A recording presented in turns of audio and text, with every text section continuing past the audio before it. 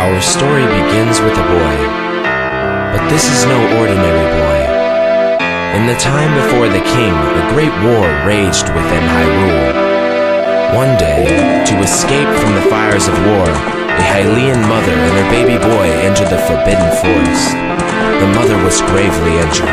Her only choice was to entrust the child to the Deku Tree. The Deku Tree could sense that this was a child of destiny, whose fate would affect the entire world. And now finally, the day of destiny has come.